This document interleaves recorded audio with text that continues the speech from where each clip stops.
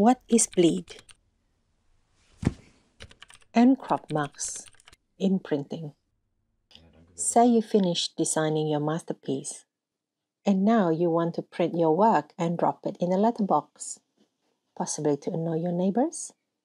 So, you export your final file as a high resolution PDF. But you don't add bleed and crop marks.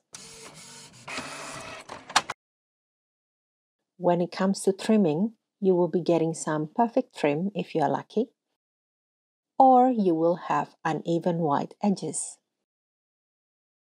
To prevent this, you add bleed and crop marks to your final file. Bleed is like a security blanket. Typically, you add extra 3 to 5 millimeter depending on your page size. The bigger your page, the more bleed you may need.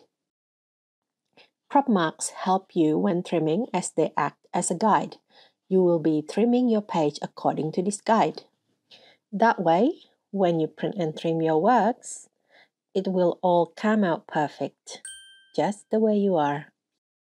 Thank you for watching. Please like, comment, or subscribe for more arts, crafts, or design videos. Until next time, my loves.